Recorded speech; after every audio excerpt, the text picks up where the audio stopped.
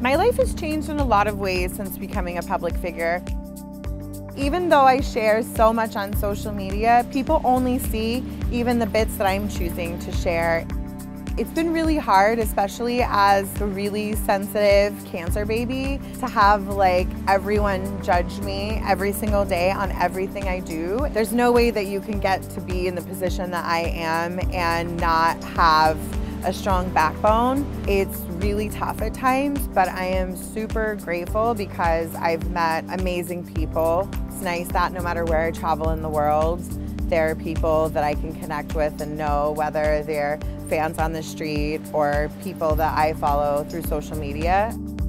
I believe that social media is a really powerful tool for change. While I believe in calling people out, I do believe in calling people in and giving them space to change and grow. And we all make mistakes, and I've done and said some really stupid things. I am human and I am learning and I am growing. Social media can be a reflection of that and we can all use it to say, this is what we want to see, this isn't good enough, try harder, and also hold space for people that are actually trying hard. I think that a lot more people care than we give them credit for. We're all doing the best that we can.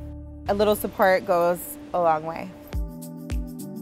I guess I just hope that people know that I actually gave a shit, that I'm not in this for me or for my personal gain.